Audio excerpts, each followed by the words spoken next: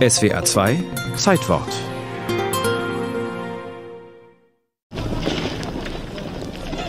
(1919), kurz nach Ende des Ersten Weltkriegs. Deutschland leidet Hunger und Not. Hunderttausende Kriegsversehrte, Witwen, Waisen, Wohnungs- und Arbeitslose sind auf soziale Hilfe angewiesen.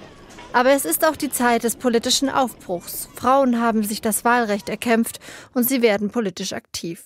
Darunter auch die Frauensekretärin der SPD, Marie Juchatsch. Noch im Krieg verteilt sie Lebensmittel und richtet Suppenküchen ein. Sie beginnt, in die Haushalte reinzugehen, konkret bei den Leuten zu gucken, was brauchen die Menschen, was müssen wir politisch noch verbessern.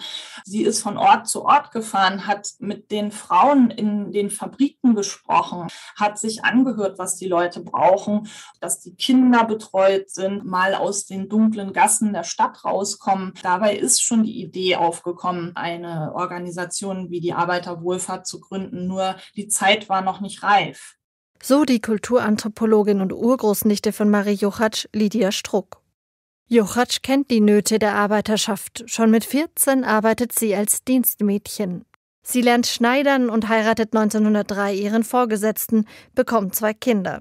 Doch ihr Mann schlägt sie. Juchatsch lässt sich scheiden und geht nach Berlin. Sie wird Sozialdemokratin und kämpft sich bis ganz nach oben. Als erste Frau hält sie 1919 eine Rede im Parlament.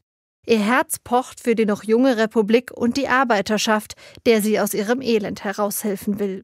In den bürgerlichen Reihen gab es Hilfsorganisationen, die aber eben in einer mildtätigen Form handelten. Und Marie Juchatsch wollte dem etwas entgegensetzen. Sie hatte die Wichtigkeit erkannt, dass die Arbeiter und Arbeiterinnen eine Möglichkeit bekommen sollten, sich selbst in einem Hilfswerk zu beteiligen und nicht das Gefühl zu haben, etwas annehmen zu müssen.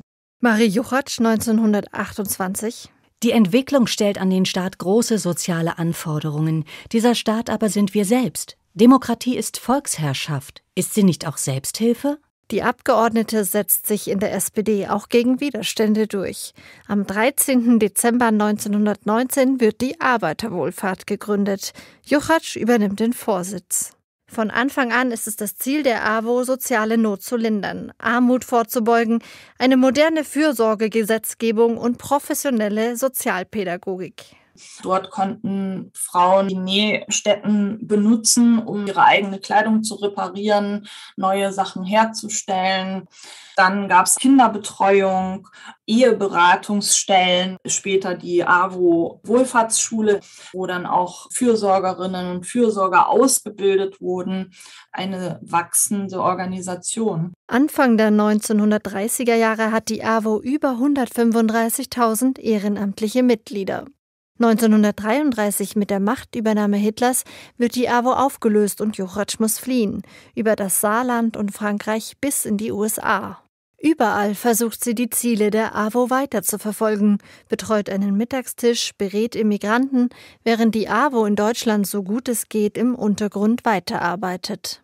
Nach dem Krieg versorgt Juchatsch als Präsidentin der AWO New York Deutschland mit humanitären Paketen. 1949 kehrt sie in ihre Heimat zurück und wird Ehrenvorsitzende der Arbeiterwohlfahrt. Aus Anlass der Wiederbegründung der AWO hält sie fest, es ist das Große in dem bitteren Erleben unserer Zeit, dass keine Gewalt, und sei sie noch so brutal, die Idee töten kann. Ideen werden von der Zeit geformt, aber sie sterben nicht. Sie werden am Leben erhalten durch Impulse, die in uns lebendig sind und immer ans Licht drängen.